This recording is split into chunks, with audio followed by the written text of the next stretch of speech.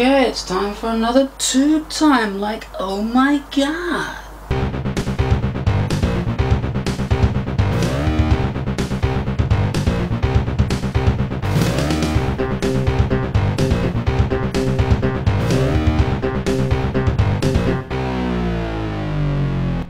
Welcome to Tube Time on Cool Dude Clem's Electronic Workshop. And I know it's been quite some time since I got these tubes here. I thought today I'd make the serious business push-pull tube amplifier. So, it's going to be made out of three tubes. This is one of them. This is a dual triode ECC 83 I believe. Yes. That's an ECC 83 little circuit that I made.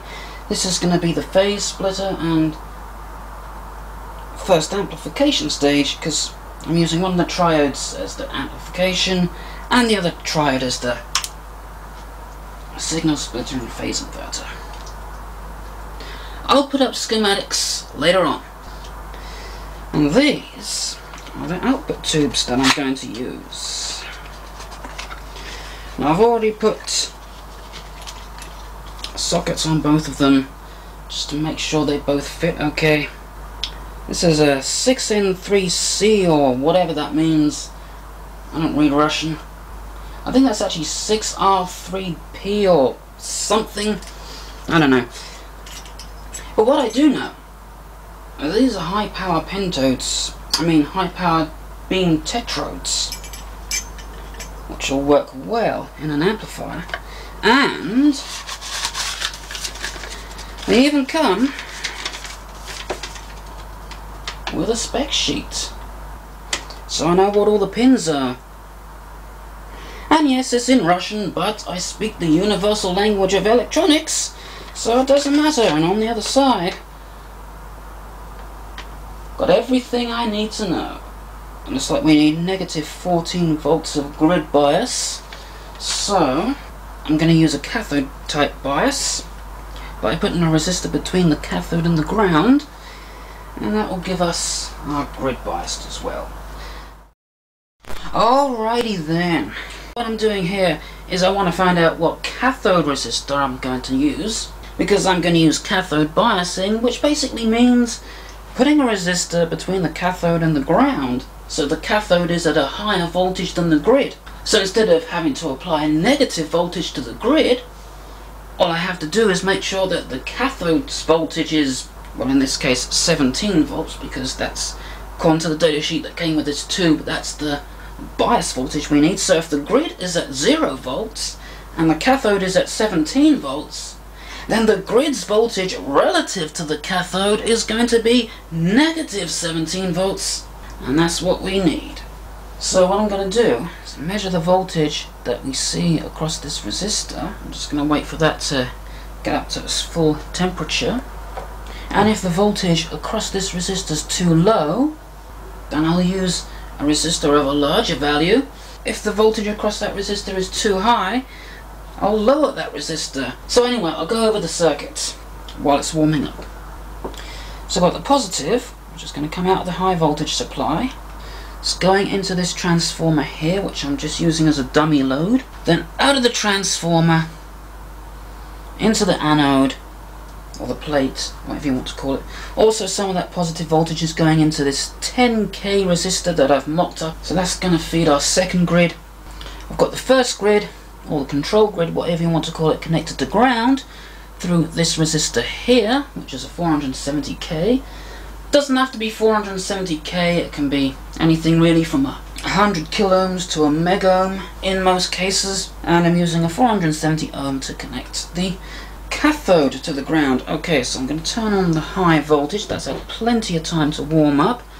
And let's see what voltage we get across the resistor. According to this, we've got nothing at all. Because I forgot to plug it in. Because I'm an idiot. It's no wonder it's not doing anything. Right. So, got my high voltage power supply plugged in now turn this on and we'll see what voltage we get across the resistor. Okay.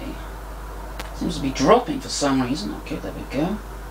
Okay, we got over 20 volts going through that, so we need to use a smaller resistor. Let's just see what the voltage is. Let's just turn the power on again. This power supply is a bit dodgy actually, for some reason. It's, uh, come on, work. There we go. Got a bit of a dodgy switch. Okay, so we got 21 volts there. Okay, so ideally I think I would need a 330 ohm resistor there. That's the next value I would try. But anyway, as it is right now, this would probably do some amplifying. I'm going to turn that on again. Turn on my power. I'm not hearing anything from the speaker, not even a faint buzz. I don't know if that resistor's going to burn up on me, but we'll see. We've got 21 volts going across it. Now I'm going to touch the grid with this wire here. See if we get anything out the speaker. Mm-hmm.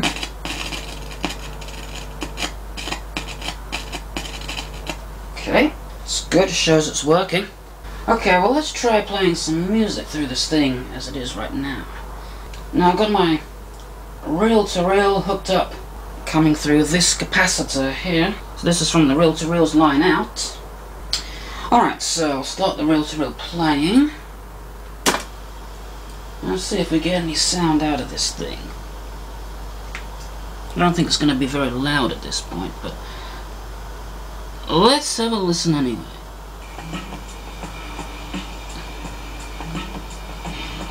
Okay, there it is. Don't know if my ugly face is getting in the shot. Okay, so we know that works. That should be a lot louder once I put a capacitor across that resistor. Right, okay, there we go. Put a 470 microfarad capacitor across there. Making sure, of course, that it's at least 25 volts. And the polarity's right, because we don't want anything exploding now. Should be a little bit louder now. It's definitely louder.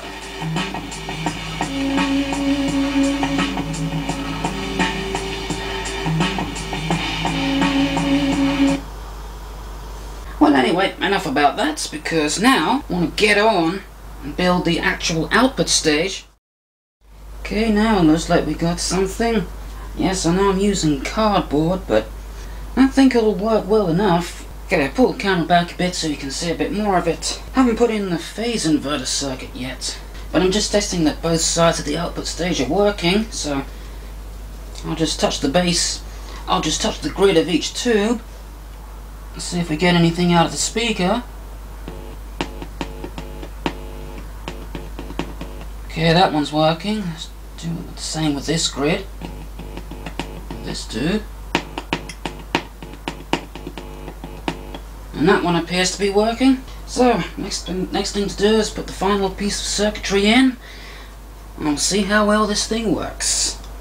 Okay, I have built it. And it's working. Now I want to do this quick because I've only got everything put in with hot glue. So I just want to do this video quickly and then get everything put in properly before the glue melts. So Put in the phase inverter and splitter and preamp circuit right there and everything else you saw earlier. Put in a volume control which goes into the grid of the cathode of the 12XA7 or ECC83, depending what you want to call it. And it works. So let's give it a listen. What does the? Oh please, not that! anything but that. I cannot apologize enough for that atrocity that you just heard. So let's do a proper test with this amplifier.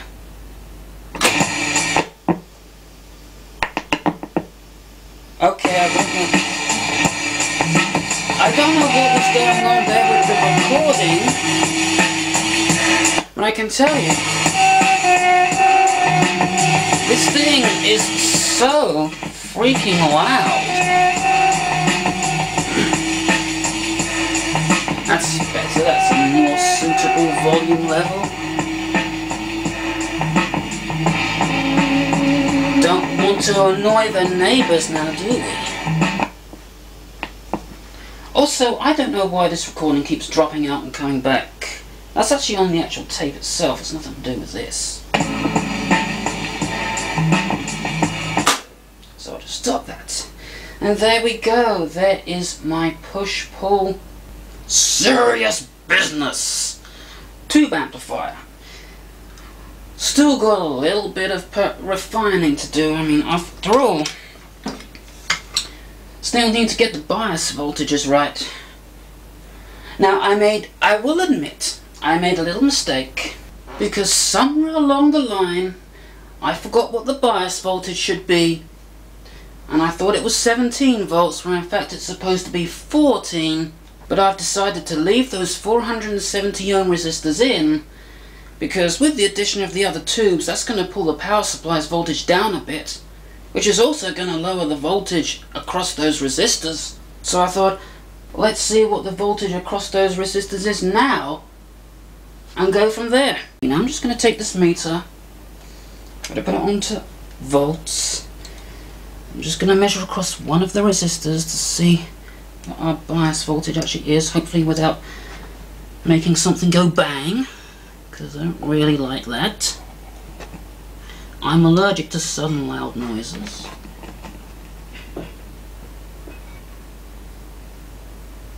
Okay, 13.5. Well, that's close enough.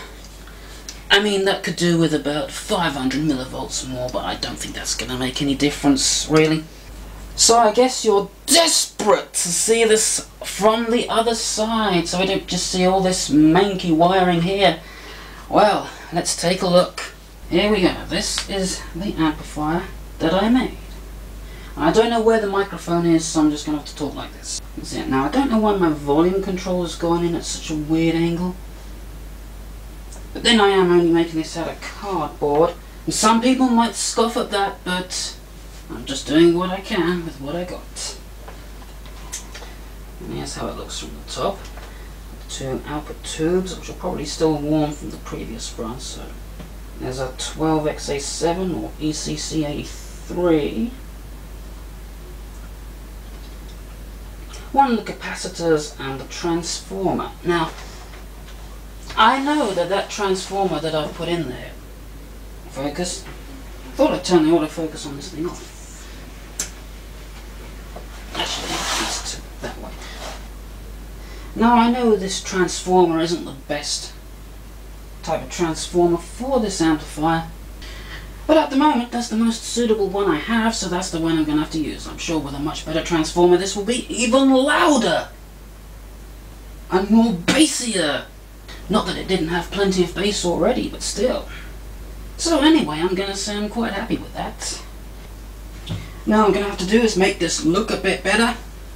And it's going to be really, really good. But um, that's going to be for another video because I'm sure this has taken up too much time already. Rabbiting on again like I normally do, so yeah. And for those of you interested, here is the full schematic of the amplifier, which I'm going to leave on the screen for a few seconds. So you can just pause it and ponder over it if you wish. Anyway, I've got to go now, so until next time, goodbye. Okay, I'm just testing here.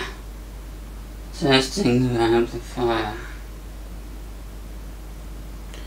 Because for, I've got to say something again. Because for some reason, even though I know I said the right words. The computer decided to re-edit my words, unbeknownst to me. So I've got to say that whole line again and hope the computer doesn't screw things up.